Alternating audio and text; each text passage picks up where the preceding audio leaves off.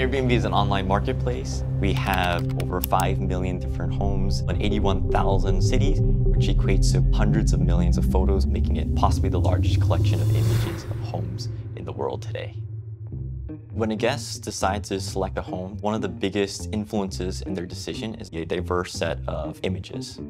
But a lot of times hosts will take a lot of pictures of a single room and forget to take pictures of the other rooms. They also have the option to add captions, but a lot of cases they're totally off. Yeah.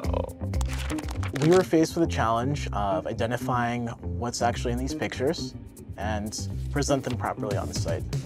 That's one area where machine learning excels.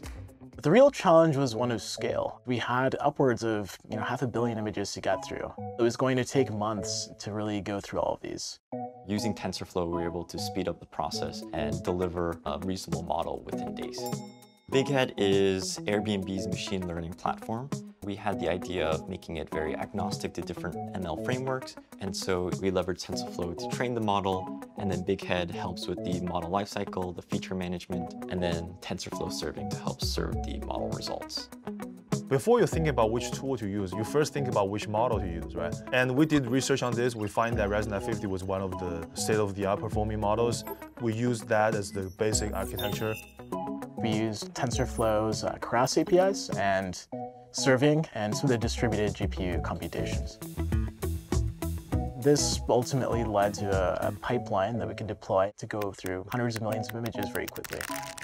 So the end goal is basically using these classifications of images to make sure that their first initial set of photos that they see aren't just a picture of the garage and bathroom, but it could be of the living room that's gorgeous in the bedroom and the swimming pool.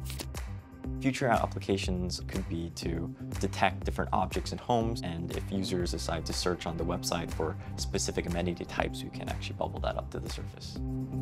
If you like how Airbnb operates today, the reason was because of machine learning, because machine learning is almost everywhere in the company.